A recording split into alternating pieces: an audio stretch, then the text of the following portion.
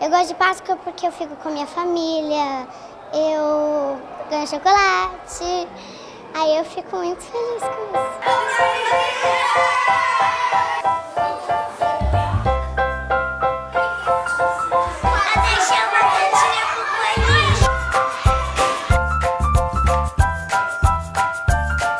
O que significa que o Instituto dá ovo pra gente é tipo como se a gente fosse uma família muito grande. Aí, mas tem gente que quase no final do mês assim já não tem mais dinheiro porque precisa pagar as contas, etc.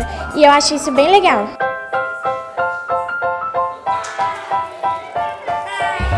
Quando a Páscoa, quando Jesus se libertou, eu quero muito amor, paz nesse dia.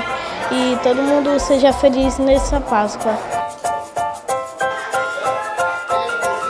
Hoje nós da VIP Telecom estamos aqui né, para entregar esses ovos de Páscoa para as crianças e para a gente foi muito significante, porque a gente viu o brilho das crianças recebendo esses ovos, né, e assim o contato com o coelho leva aquela coisa mais lúdica, né, que as crianças têm, e aquela sinceridade, aquela franqueza.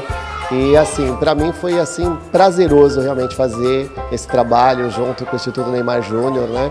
E para mim foi muito incrível, tenho certeza que também eu vou passar essa, toda essa sensação, toda essa informação para todos os funcionários. A Páscoa representa pra mim chocolate doce. é... Ah, e ficar com a minha família.